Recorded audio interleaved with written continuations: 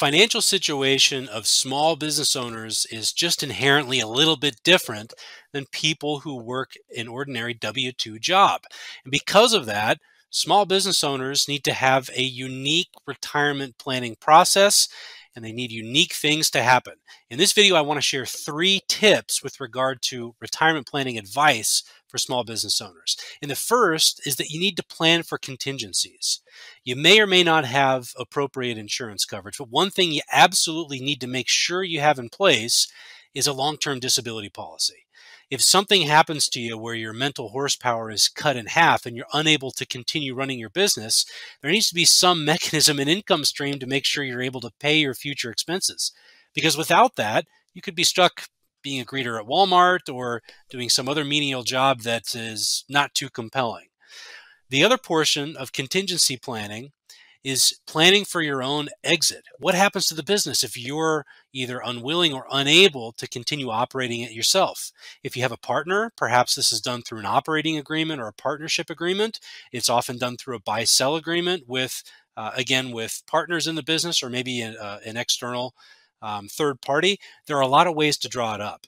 But since small business owners have a substantial portion of their net worth in most cases tied up in the value of the business, it's super important to have some kind of contingency in place to harvest that for the benefit of your future self and your family if something ever happens to you. The second tip is run the numbers. Start thinking about how long you might want to do this for. How long do you want to continue running the business, growing it, achieving your vision of the future? How long do you want to do it for, and what does life look like afterward? And when you have an idea of what that vision looks like, you need to run the numbers and get an idea of what it's going to cost to put all this in perspective. A lot of small business owners out there neglect their own retirement savings in order to reinvest all the money coming in back into the business to keep the shop open and to promote future growth. That can work sometimes, but it puts a lot of pressure on the value of the business upon your exit. You have to be able to sell it for something in order to fund your own retirement down the road. So you need to run your numbers and know what you need. And hopefully, and this is tip number three, utilize a qualified retirement plan within your business to build some diversification.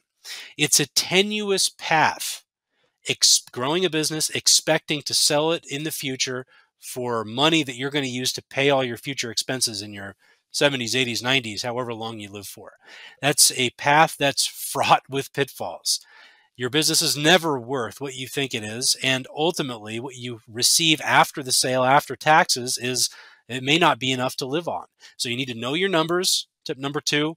And number three, utilize a retirement plan where you can save a little bit of money and not rely so heavily on the future value of what you pull out of it. The benefit of using a qualified retirement plan is that you run the business. You can pull the strings. You can set one up however you want. The IRS and the Department of Labor offer a whole bunch of different options for tax advantaged retirement contributions. The more basic plans are SEP IRAs or simple IRAs. 401k plans are super popular for good reason. They allow you to put a lot of money away tax deferred and offer a nice benefit to the employees.